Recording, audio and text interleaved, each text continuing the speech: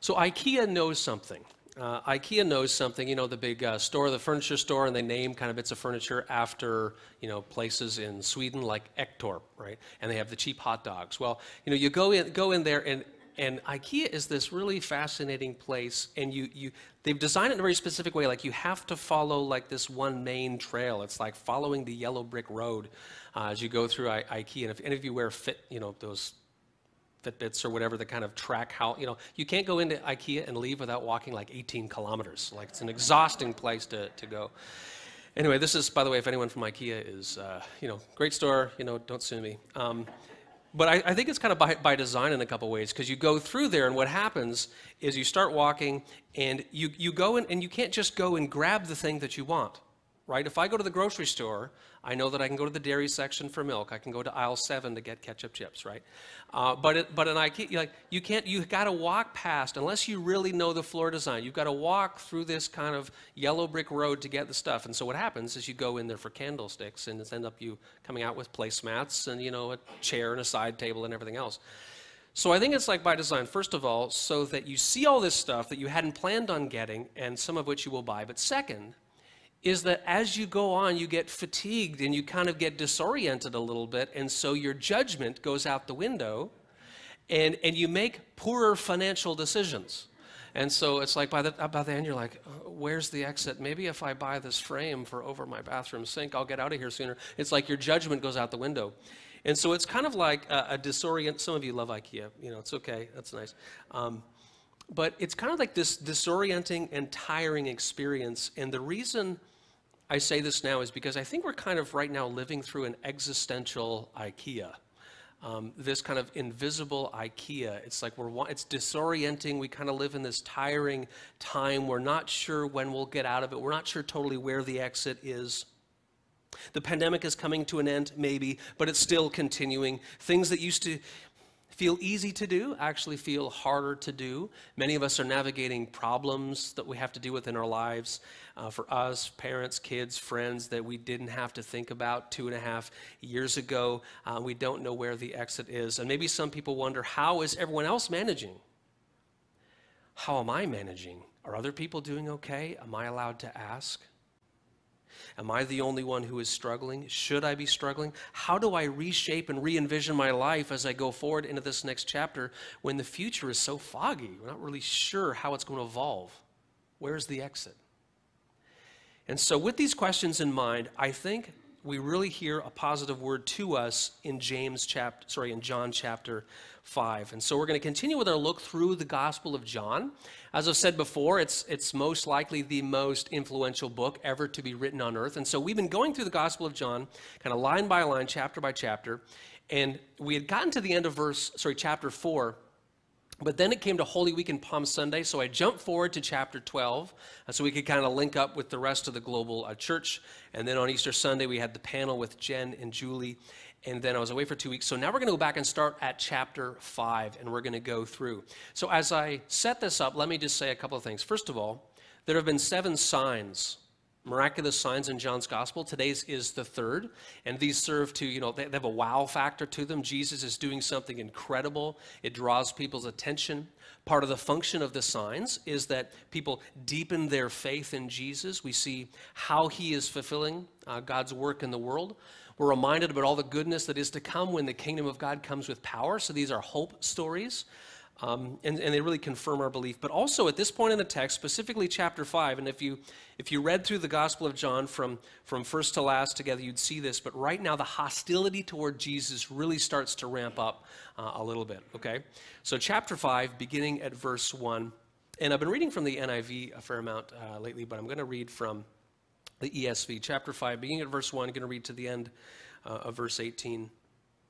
After this, there was a feast of the Jews, or a festival, and Jesus went up to Jerusalem. Now, there is in Jerusalem by the sheep gate a pool in Aramaic called Bethesda, which has five roofed colonnades. In these lay a multitude of invalids, blind, lame, and paralyzed. One man was there who had been an invalid for 38 years. Okay, so uh, right now we get into some really specifics, and this is one of the passages that remind us that this is, in fact, eyewitness testimony. eyewitness testimony. John demonstrates great uh, detail and, and, accuracy of knowledge about what things were like in the first century around Jerusalem, Judea, with Jesus, etc. And this is one of those cases. So if you had a, if you have a study Bible in the back, and you could see one of those maps that say this is Jerusalem in the time of Jesus, uh, you'll see that Jerusalem is a walled city. And so there's a wall around it, and the gates could be closed at night, right, for safety. And also, if there was some sort of threat of military invasion, um, the gates could be closed. And so the sheep gate is like on the east side, kind of more north northerly, but it's on the east side. And the pool of Bethesda that's named here, Bethesda means house of mercy. So it's appropriately named as a pool because people would go there for healing. They need mercy, they need compassion. It's right on the outside. Now, here's part of the interesting thing historically and archaeologically that I just have to share with you uh, from an apologetics perspective is that uh, for years uh, there was a certain group of scholars who said, you know, the Gospel of John, it's really it's really philosophical, it's really theological, but it's not really that historical. Like Matthew, Mark, and Luke, you can go to those gospels for like historical details, but you can't really trust John in those ways because, you know, because of, of certain things and it seems more philosophical. And part of the reason some of them thought that is because outside of where the sheep gate was in the first century, people did these archaeological digs and they didn't find a pool. They said there's no pool there. And so, if we can't trust him when he cites these geographic things, well, then maybe we can't trust the rest of the gospel. Maybe we can't trust the Bible. But then in the 1900s, people did more archaeological digs and they went deeper. And guess what they found? They found the pool of Bethesda right where John says it is. Not only that, but they had discovered that it had five roofed colonnades, colonnades exactly like it is described. So a colonnade is like a row of pillars with a top on it. And so that's to protect people who have gathered from sun or from the rain or whatever. And so one around each side and one right through the middle, five roof colonnades, exactly like it was. Other people, previous generations, had walked away from their faith because they're like, we can't trust this gospel. Then they just dug deeper and they actually found it.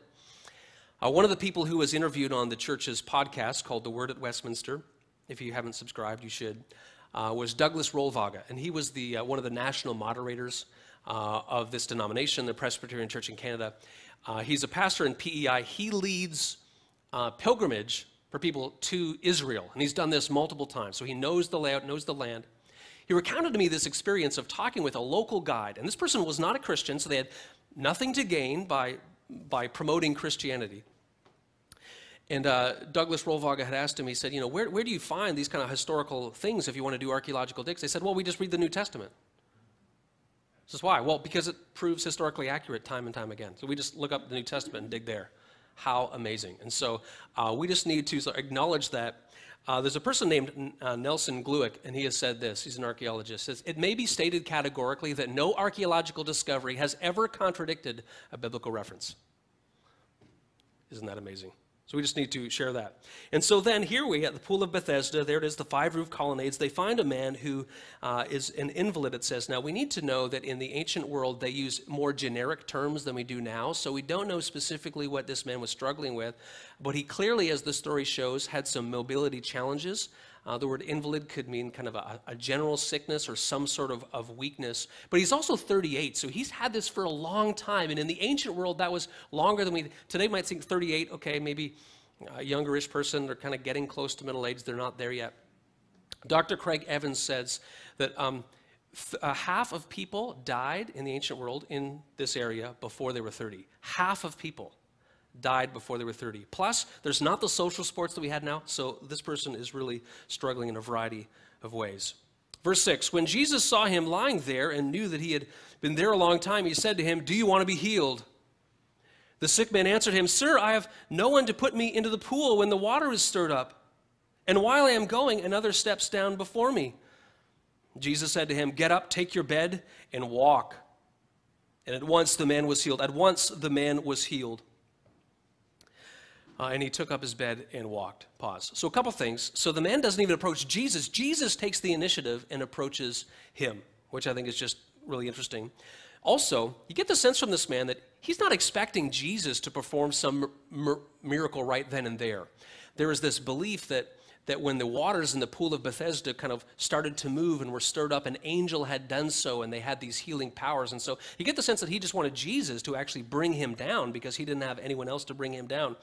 That's kind of the sense you get. But Jesus says, Take up your, your bed and walk. Now, it wouldn't have been like a queen size mattress or anything like that. Uh, really, the word here is it's most likely refers to like a straw mat, like something you could roll up and carry quite easily. Get up, take that, and walk. And Jesus heals him in an instant. And it's a beautiful story. There's a church father named Cyril of Alexandria who says in this story, um, in this story, we see not only Jesus care for this person because he physically heals him, but because this man was all alone. Didn't have anyone to help, but he was alone no more because Christ came along and attended to him. Continuing with verse 9, now that day was the Sabbath. Uh oh, controversy coming.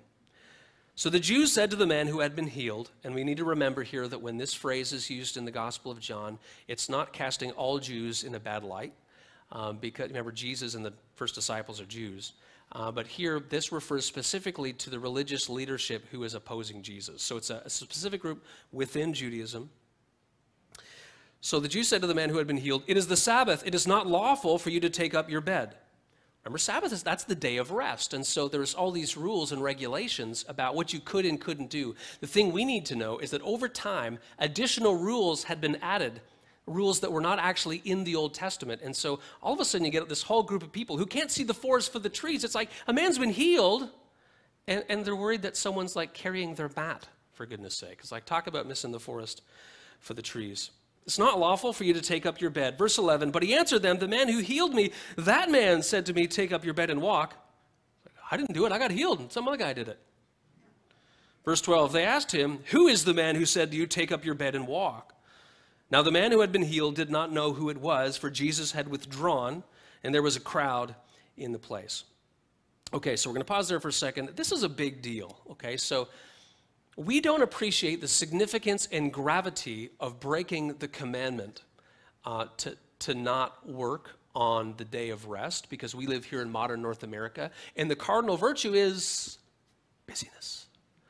It's busyness, right? You ask people, and I've said this before, hey, how you doing? I'm good, busy, but good. And we say, quite often we are busy, but quite often we say we're busy as if it's like some sort of invisible badge of, of, of honor uh, somehow. Like, like only busy people are important. Only busy people, you know, know what they're doing or something. So, so we, we have this whole cultural predisposition against resting as if it somehow means unimportance or laziness, even though it doesn't.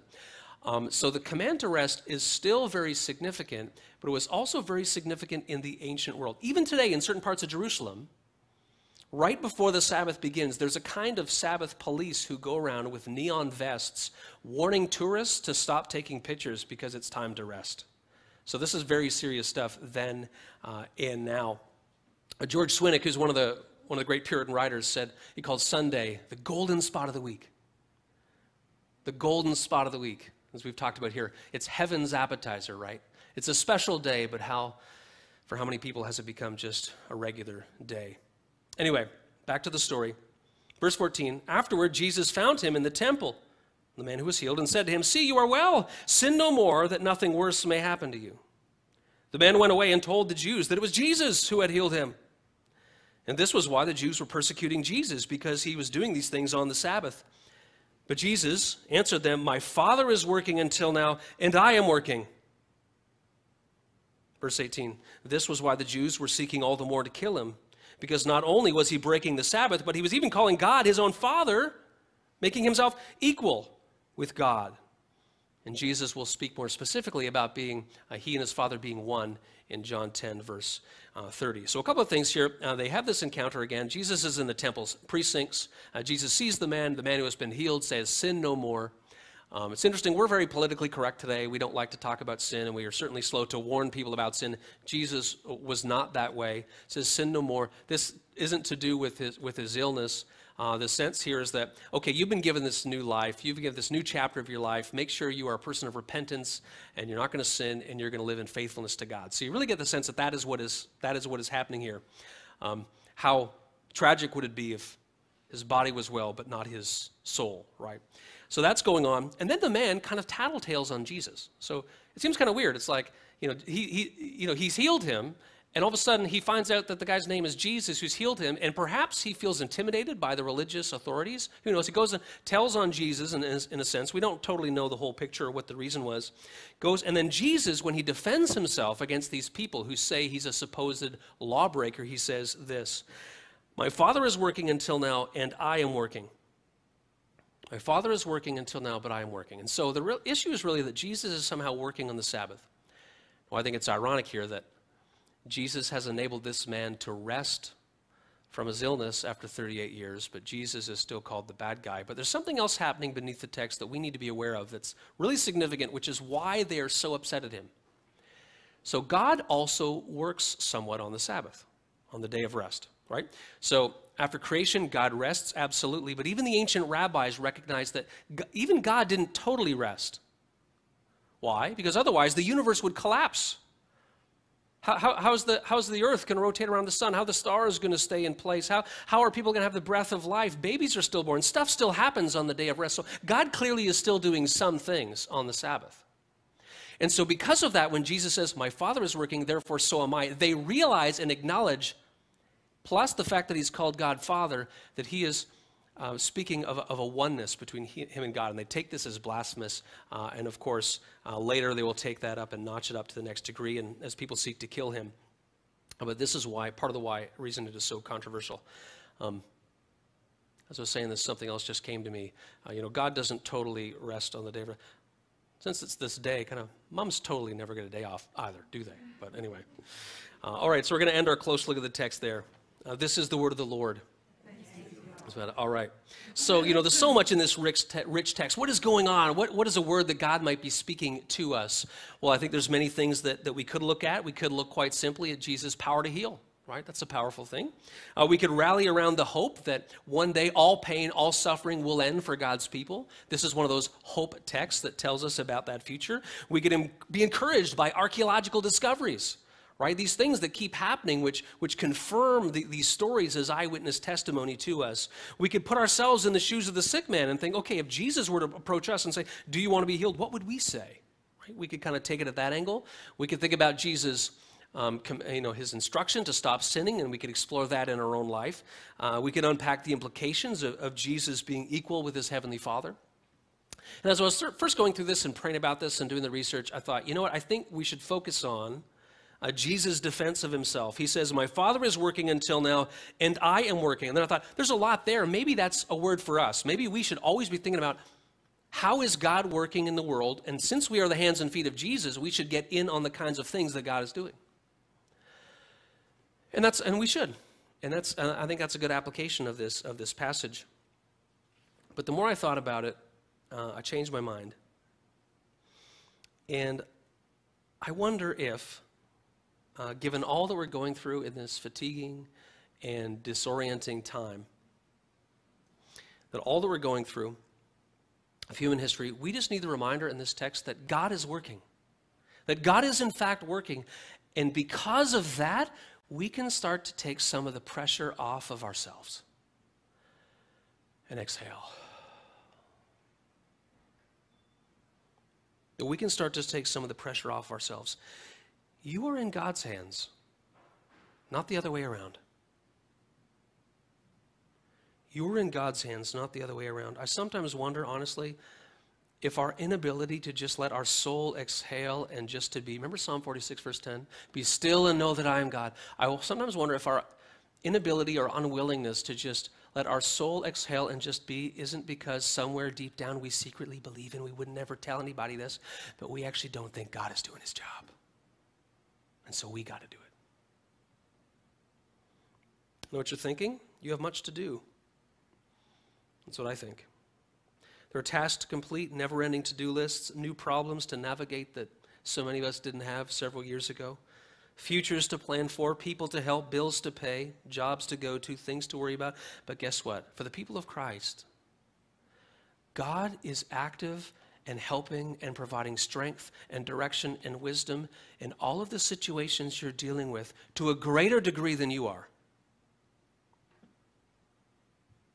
Mark Batterson, the pastor, has said when you add God to the equation, his output always exceeds your input. which means there's so many things in our life right now that we're scurrying away and working away and, and we're, we're, kind of just putting all this pressure on ourselves. God is actually more active in our lives and in the problems and the things that we are situ- in the situations that we are dealing with that we even realize. Inhale, exhale, because God is actually at work. You know, the previous book that we went through, Hebrews 1 3, uh, says, The Son, Jesus, is the radiance of God's glory, the exact, represent, exact representation of his being. What is he doing? Sustaining all things, not some things. He's sustaining all things by his powerful word. Jesus stops doing that, everything collapses. Sustaining all things by his powerful word. Speaking of the church's podcast, um, I recently interviewed the Reverend Dr. Claude Cox. Um, Claude's not here today, so I assume he's on the back porch at home with Elaine. Um, but Claude shared five bits of wisdom, five words of wisdom that he had uh, gleaned from people at Grove Park Home because he has been the chaplain there for a long time. And uh, he shared these five bits of wisdom, uh, shared with some of the residents of Grove Park Home. And one person uh, said this to him, and this was kind of an expression, and, and this is one of these five nuggets of wisdom that Claude shared. You can only do what you can do. You can only do what you can do. Because there are so many times in our life when we think we need to do more than what we can do. Because maybe we got to make up for some ground that God isn't doing things. Children have it pretty good, don't they?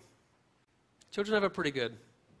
Uh, if you're like me, perhaps you long sometimes for a time when things were simple. Everything was organized for you. Right? Imagine your eight-year-old self, okay? And I know everyone's you know, childhood wasn't perfect and maybe things weren't always great at home, but uh, imagine your eight-year-old self and you got some homework to do, but, but things for the most part on most days were, were pretty good. You know, you had a volleyball tournament in some town two hours away. You just had to get in the car at the right time and you just magically showed up the right place. You know, mom and dad reminded you to get your cleats or whatever. They, they, they made sure you had lunch. Someone made sure that the lights stayed on at your home. Someone even reminded you to make a card for mother on Mother's Day. All those sorts of things. Your only job some days was to be home before the street lights came on. Remember that? be home before the street lights come on. Jesus talks about having the faith of a child. Mark 10.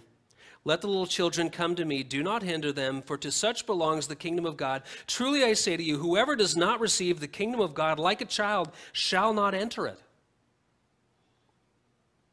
Maybe Jesus encouraged us to have the faith of a child because we need to, as adults, reassume a posture of total dependence on someone who isn't us.